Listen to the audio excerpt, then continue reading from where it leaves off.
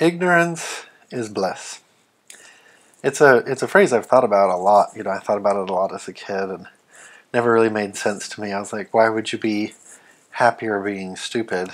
Um, but uh, for today's video, I don't necessarily want to talk too much about that, but about let's suppose for a second, suppose that uh, knowledge and happiness are mutually exclusive if if you want to be happy, then you must be ignorant of the truth, and and if you want to know the truth, then um, you can't be happy.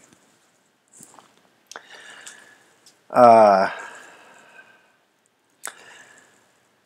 so, which one would I rather have? If I had to choose being right like knowing knowing the truth, not necessarily being right in the sense of yes, I won the argument and I always win arguments.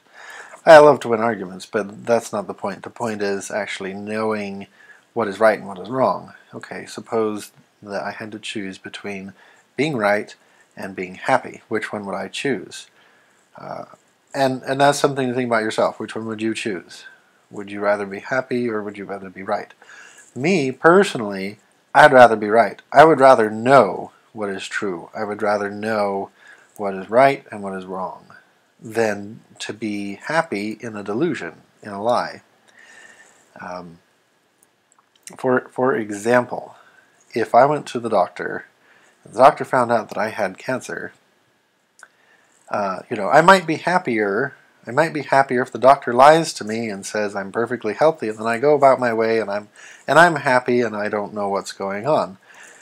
Um, but I would rather know the truth. I would rather know that I have cancer. I would rather know what's going on, what the doctor found, even though that might that might decrease my happiness. That might make it more difficult for me to be happy. It might make it harder for me to stay positive.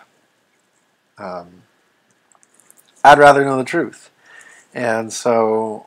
Uh, that that's my answer, and I think it applies in in everything. I would rather I would rather know what is true. I'd rather know what is right, and risk a loss of happiness than to cling to ignorance uh, in in the name of being happy. Um, and and that's that's actually one big reason why I started investigating um, the doctrines and history of the Mormon Church is because I would rather be right. I would rather know for sure what happened in the past and, and whether the LDS church really is a true church and whether what they say is really true or not. I would rather know all of that than live my whole life as a Mormon, being happy as a Mormon, uh, and having it all be a lie. And And I'll be honest, I was very happy as a Mormon. I know a lot of ex Mormons say that they weren't happy in the church. Some people say they were miserable in the church. I I wasn't miserable. Yeah, I, w- I was sexually repressed. I was hiding my own sexual feelings because the church didn't want me to uh, have those sexual feelings. But I wasn't miserable. Yeah, I feel far more fulfilled now, actually fulfilling my sexual needs and, and having a sexual partner that I'm sexually attracted to, yes, I feel much better. But I wouldn't I wouldn't classify my time as a Mormon as, as miserable. I, I found it to be enjoyable. I was happy being a Mormon. I really was happy. And the thing is,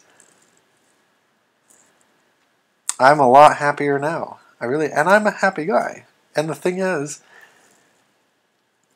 you don't have to be ignorant in order to be happy.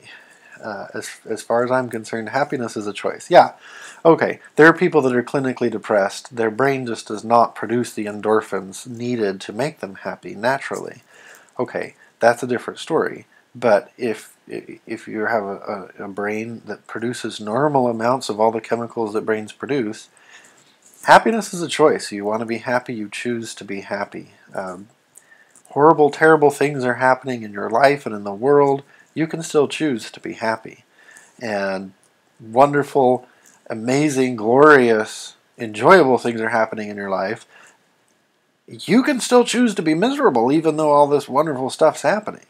And so, really, happiness is a choice. You want you want to be happy, be happy, and that's how I am. I want to be happy. I like being happy, so I'm happy. I, I, uh, I'm cheerful. I like my life. I have a really good life. I have a good husband, uh, a very nice, handsome man by my side. Uh, I love my school, my school work. That is uh, math, not the university particularly. I don't have any special feelings there, but math. I love my career. I, I love the prospect of being a math professor for the rest of my life. I'm happy. I have so many reasons to be happy. Uh, but uh, I would give up all of that happiness if it meant that I would be learning truth that right now I don't know and I wouldn't be able to know without giving up the happiness. That's what I'm saying. I'm saying to me it's more important to have knowledge because knowledge is power. With with knowledge you can you can do things. With with math you can build buildings and and huge structures and know how to support them properly. You can build rocket ships that fly to the moon.